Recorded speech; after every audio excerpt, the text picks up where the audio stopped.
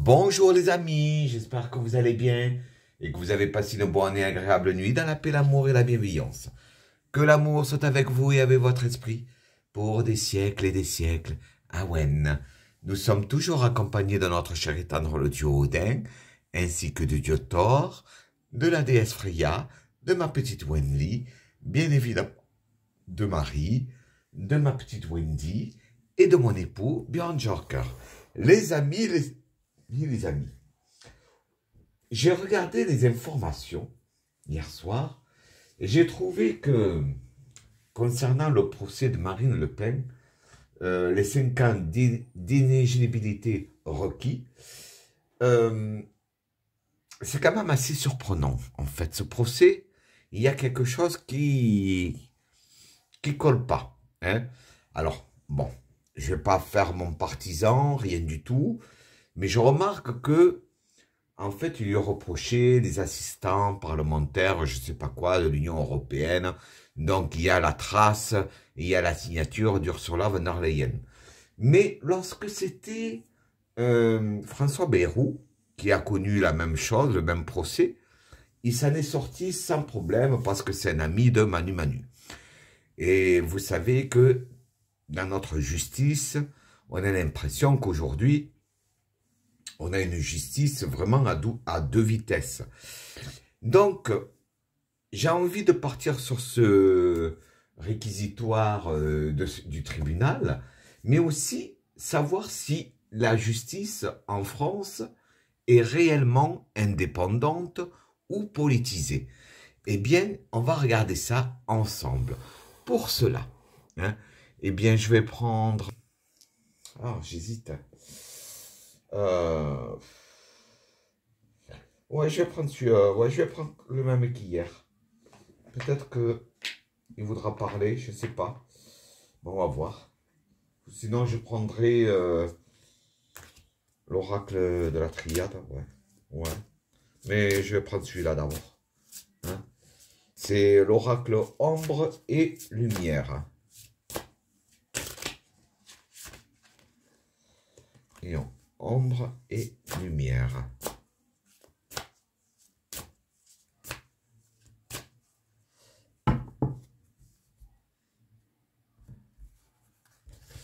Voilà. Ouais, c'est quand même assez troublant ce procès. Je sais pas. Voilà. Je me rappelle que quand euh, un syndicat de la magistrature avait fait le mur des cons, bon, euh, dans lequel même ils avaient affiché euh, le père d'une gamine qui avait été assassinée. Et je, quand même, je trouve que bizarre. Comme les OQTF, vous voyez, ils sont pas souvent... Il y a un truc bizarre dans tout ça. Alors ici, on a dit de regarder le bon côté de la situation, en fait. Je comprends pas bien. La sagesse ancienne. D'accord. Et ici, on a... Les signes sont déjà là. On a l'ange des, neiges. Voilà les signes sont déjà, déjà là, l'ange des, l'ange des neiges. Mais ici, on nous fait remarquer qu'effectivement, vous savez, ce côté hivernal, où c'est les choses qui ne produisent rien, qui ne poussent pas. Les choses sont gelées. Ici, on a le, regardé le bon côté des choses et la sagesse ancienne.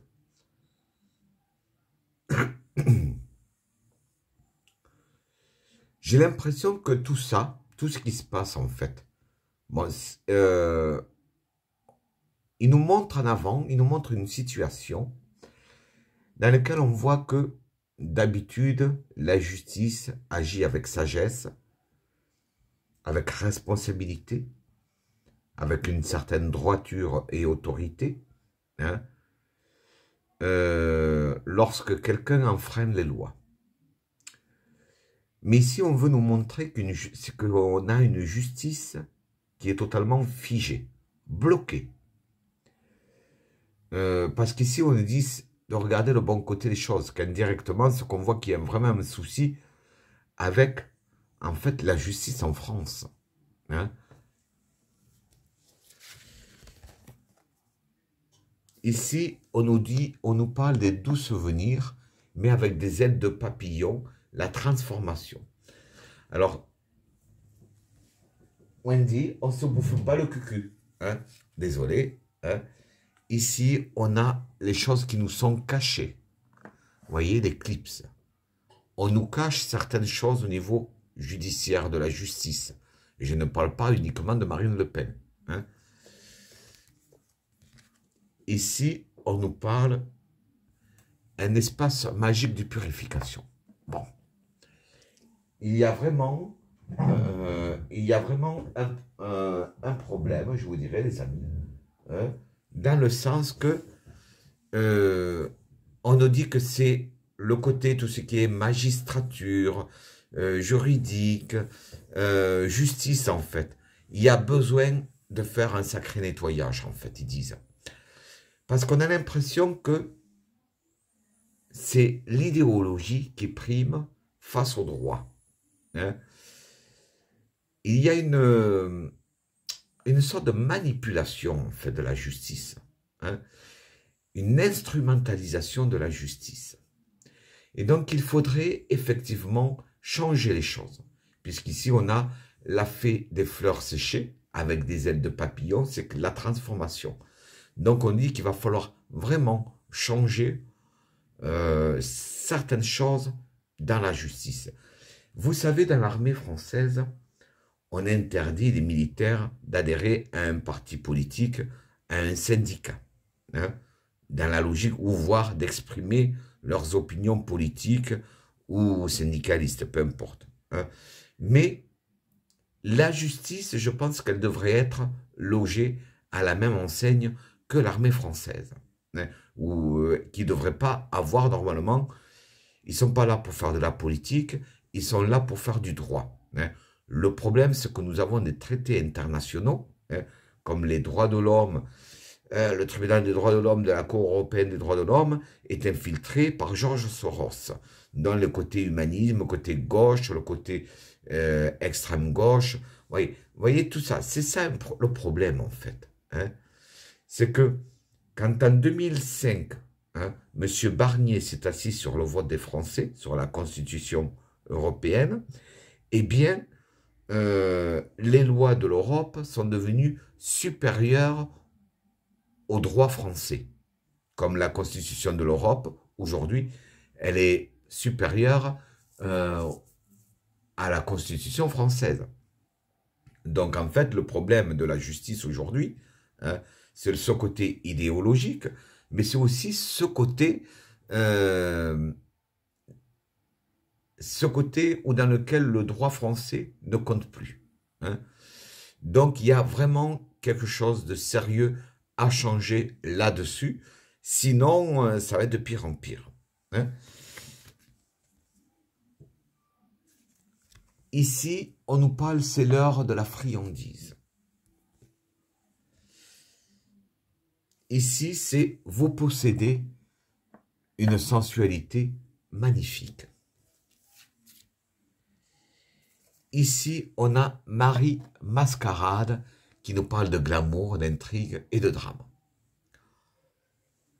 On veut nous dire que la justice, par essence, elle est là pour assurer le droit. Hein, à,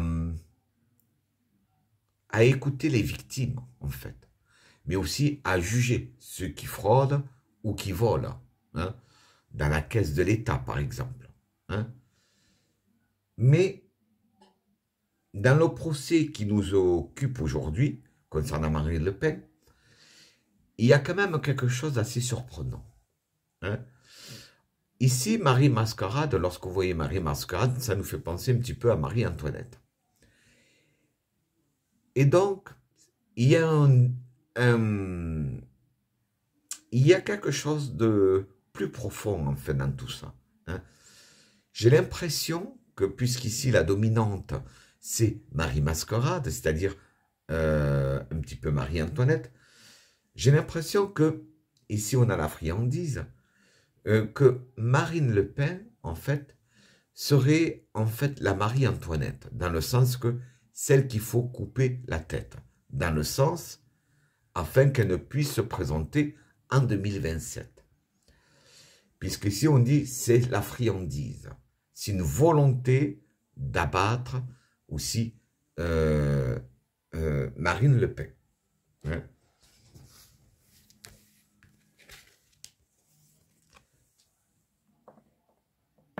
Quelqu'un vous manque. Alors, malheureusement, malheureusement pour Marine Le Pen aussi, puisqu'on est dans le côté judiciaire et justice, je ne suis pas sûr qu'elle puisse vraiment se, se présenter en 2027. Hein? Euh, Bjorn, qu'est-ce que tu fais avec la caméra? Bonjour Bjorn. Comment vas-tu, Vivi Je sais que tu es là.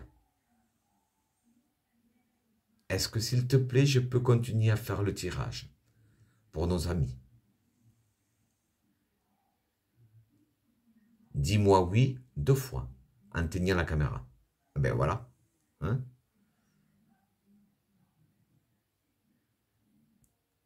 Merci, Bjorn. Je m'occupe de toi après, bébé. Hein?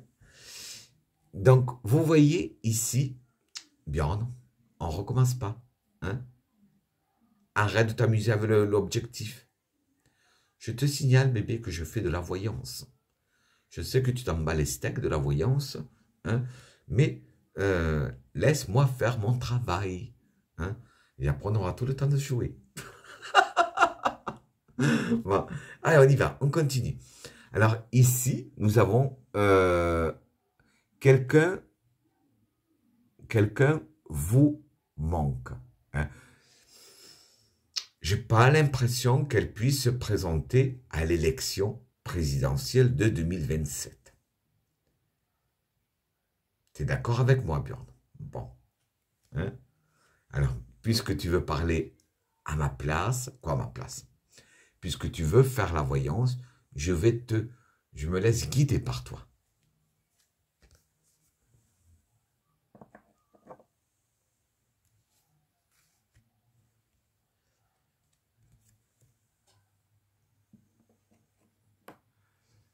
Bon. Bien, je dirais que je, disais que je ne suis pas sûr qu'elle puisse se présenter à l'élection présidentielle 2024, 2027, pardon. Hein. Eh bien, étrangement, il y a la carte du miracle qui est au niveau central.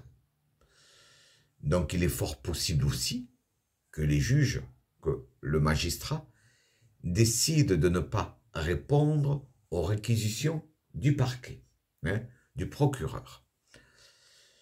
Et ici, on a les fantômes sans vivant, sans visage et la fianté.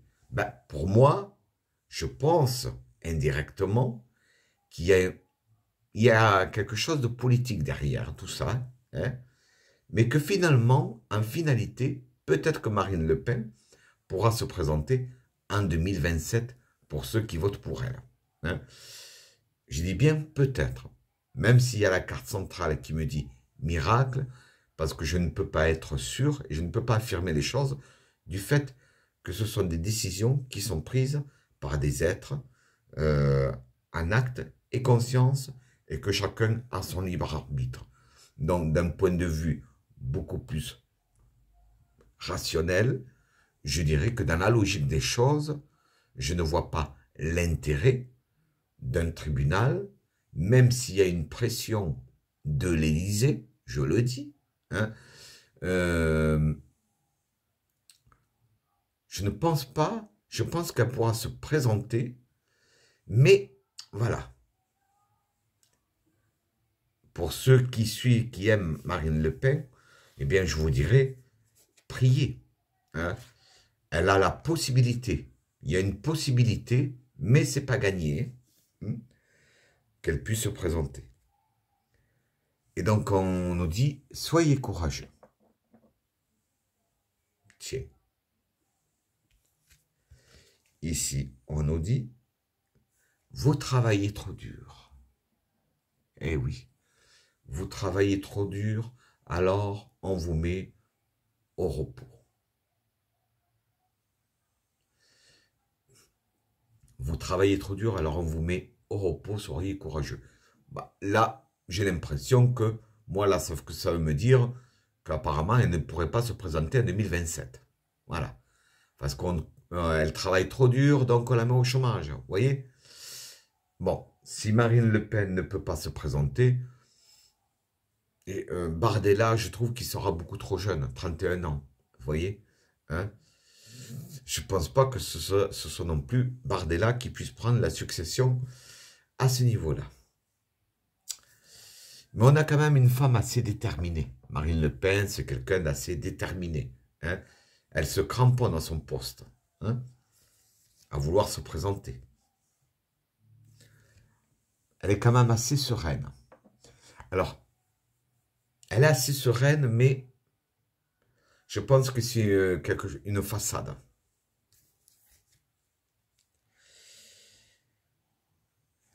Ah oui. Le calme, euh, le calme au milieu de la tempête. Elle a ce côté sérénité, qu'elle se sent sereine, tout en restant prudente. Oui, Bjorn. Euh, qu'est-ce que tu en penses, Bjorn, toi? Puisque je vois que tu t'actives dans la caméra.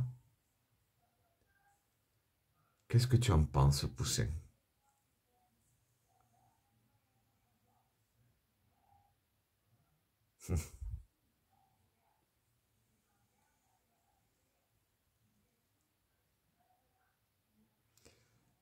Alors, puisque tu veux jouer avec la caméra, eh bien, on va jouer tous les deux. D'après toi, Bjorn, est-ce que Marine Le Pen pourra se présenter en 2027 à la présidence française? Si c'est oui, tu fais deux fois la caméra.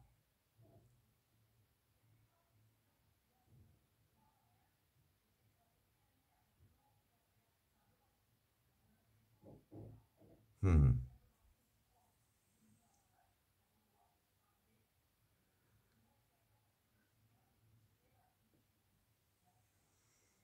C'est, il y a un oui, mais, il y a un oui, mais.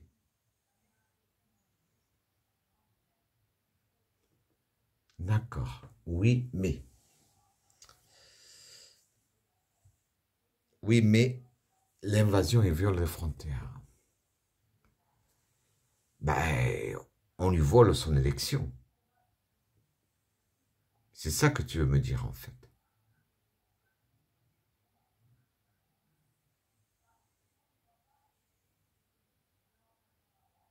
C'est ça que tu veux me dire Qu'on va essayer de lui voler son élection? Réponds-moi s'il te plaît.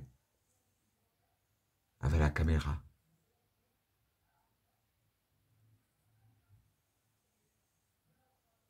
Est-ce qu'on va lui voler son élection ou est-ce qu'on va l'empêcher?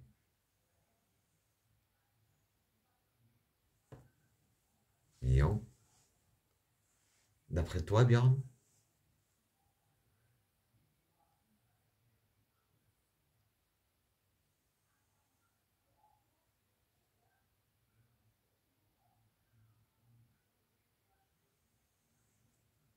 Alors? On va l'empêcher? Bon, évidemment, tu as décidé de là de pas parler. Bon, quoi? De pas faire bouger la caméra. Allez, fais bouger la caméra, s'il te plaît. Bon, on ne peut pas répondre. On continue. Bon, moi, je pense que on va essayer tout va être fait pour l'empêcher de se présenter. On peut espérer un miracle pour ceux qui apprécient Marine Le Pen. Mais voilà, il y a ce repos obligatoire, en fait, qui me gêne un petit peu. la transition vers le royaume des morts.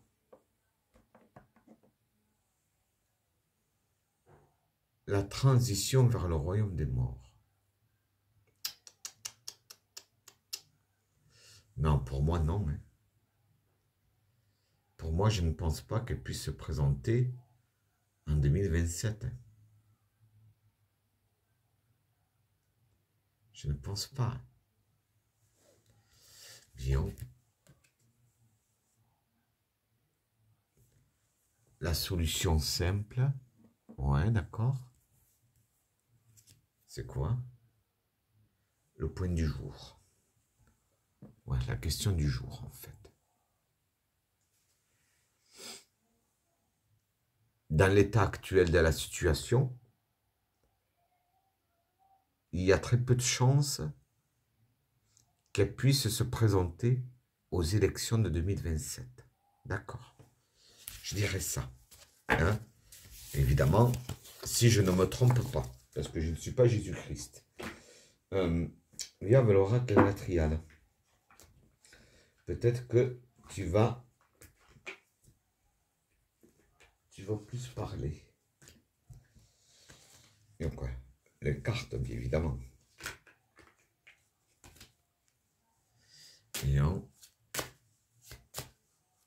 Marine Le Pen. Mais une chose est sûre, c'est qu'il y a un problème avec la justice. Il y a un problème avec la justice à cause des traités euh, internationaux, de la Cour européenne des droits de l'homme infiltrée par Georges Soros. Et d'après le président hongrois, eh apparemment, il serait responsable aussi de cette vague d'immigration euh, illégale qu'il y a en Europe. Euh,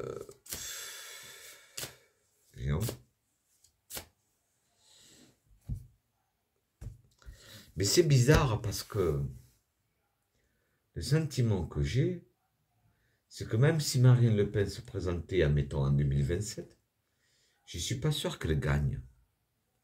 Je ne sais pas pourquoi, parce que moi je vois un homme. Je vois un homme, moi. Et c'est étrange parce que j'ai toujours ce nom qui résonne, le petit-fils du général de Gaulle. Vous voyez? Je sais pas pourquoi, j'ai toujours cet homme-là. C'est bizarre. La colère, ah ben oui, ben oui. Automatiquement. Le questionnement et l'isolement. Non. Pour moi, Marine Le Pen ne pourra pas se, se présenter en 2027. Si je ne me trompe pas, ça veut dire ça. Donc, admettons, on va voir, qu'il... Euh, Pouvez-vous me donner qui pourrait remplacer Marine Le Pen en fait Un indice. Un débutant, quelqu'un qui débute, qui est dans sa destinée. Bardella, moi, je le trouve trop jeune. Je sais pas. L'obligation.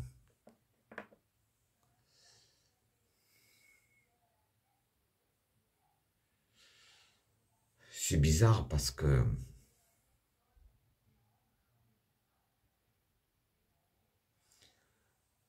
quelqu'un qui ne s'est jamais présenté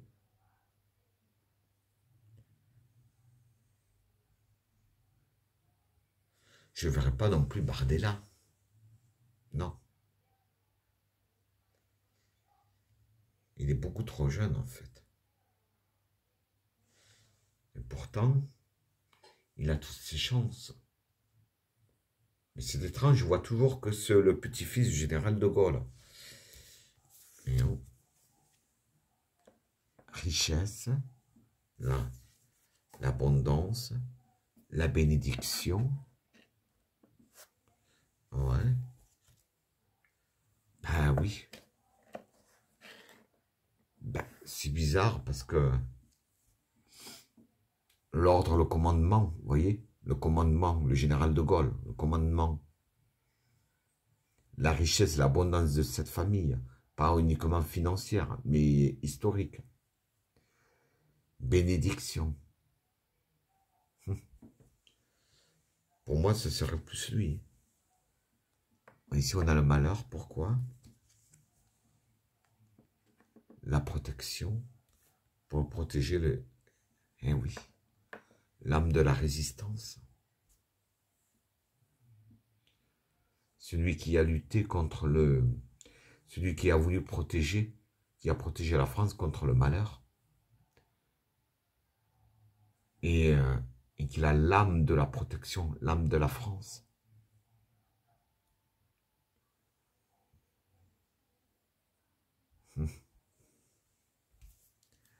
On va faire une dernière fois. Je tourner. Le pardon, l'arme. La porte.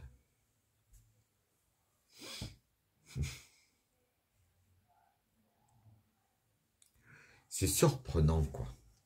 C'est surprenant parce que j'ai le général, euh, quoi, le fils du petit-fils du général de Gaulle, puisqu'apparemment Marine Le Pen ne pourra pas se présenter. Hein si je ne me trompe pas. Bardella, je pense qu'il est beaucoup trop jeune. Bon, c'est mon opinion. Je pense qu'aussi que le Rassemblement national a a quand même une, une image euh, assez sulfureuse par rapport à son père. Chacun pense ce qu'il veut. Je vous donne comme ça une petite euh, impression. Moi, je pense que c'est bizarre parce que je pense que ce serait comme une réunion des droites, voyez hein? euh, Des droites dans lesquelles il y aurait des gens du RN, le côté peut-être des gens du... Euh, du petit-fils du général de Gaulle, peut-être les pro-Ciotti, et peut-être accessoirement la femme à monsieur, euh, comment il s'appelle? Éric Zemmour. Je pense qu'en 2027, pour remplacer le Rassemblement national, c'est un ensemble de droites, en fait, qui vont s'unir pour se présenter contre un système.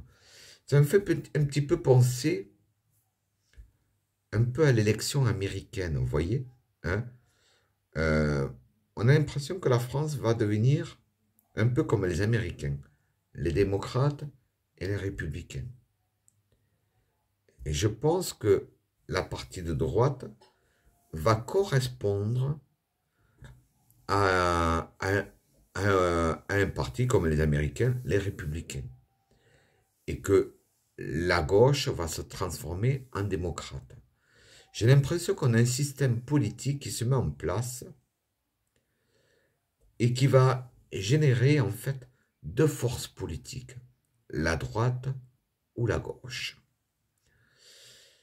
Euh, mais cette droite-là, ce serait un ensemble du RN, d'Eric Ciotti, d'Eric Zemmour, et du Poignon. Et de l'autre côté, euh, les démocrates seraient des socialistes, des communistes, d'extrême gauche aussi, voyez, et des écologistes. Ça faire deux blocs, en fait. Deux blocs. Et je pense qu'effectivement, ce sera les républicains euh, à la française, pas le parti politique les républicains, mais les républicains, les gens de droite, qui pourraient gagner cette élection présidentielle 2027. Parce que Marine Le Pen ne pourra, je pense, pas se présenter. Si je ne me trompe pas, évidemment, je n'affirme rien, parce que vous savez qu'en cartomancie, on ne peut pas affirmer les choses. Mais si j'écoute mes intuitions, alors je ne sais pas si c'est médiumnique là, on irait vers ce chemin-là, vers cette destinée-là. Mais à première vue, Marine Le Pen ne pourrait pas se présenter en 2027. Je ne le pense pas. Hmm? si les cartes ne se trompent, si je ne me suis pas euh, trompé dans l'interprétation des cartes. Bon, à l'instant T, comme on dit, hein, eh bien pour moi, pour le moment, non, elle ne pourra pas se présenter. Pour le moment. On verra bien la suite de la situation. Euh, le résultat, je pense que c'est en avril 2025. Eh bien, nous verrons bien. Hein. voilà. Sur ce, les amis, je vous dis de passer une bonne et agréable nuit dans la paix, l'amour et la bienveillance. Que l'amour soit avec vous et avec votre esprit pour des siècles et des siècles. Amen.